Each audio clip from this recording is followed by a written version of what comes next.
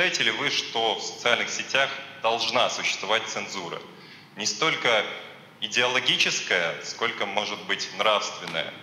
И как вы считаете, может быть, стоит государству ну, обратить внимание на этот вопрос? Павел, я абсолютно убежден, что мы к этому придем. Но в чем я также убежден, меня никто не разубедил, так это в том, что не мы должны быть зачинщиками этого процесса. Наверное, тот, кто породил этого змея и выпустил из бутылки, тот и должен этот процесс начинать.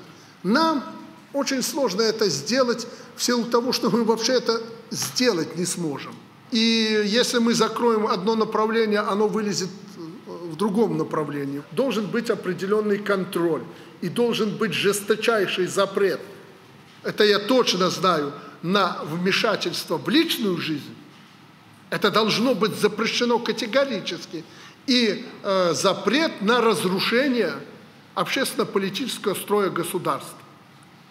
Благодаря вот этим социальным сетям и прочим там мессенджерам э, мы можем сейчас породить планетарную революцию. Вы видите, что во всех странах сегодня происходят подобные события, которые управляются через эти сети и управляются не с места, вот как у нас было.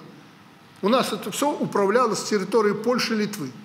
Поэтому, да, мы на пороге принятия подобных решений. Но исходить эти решения, прежде всего, должны от сильных мира всего.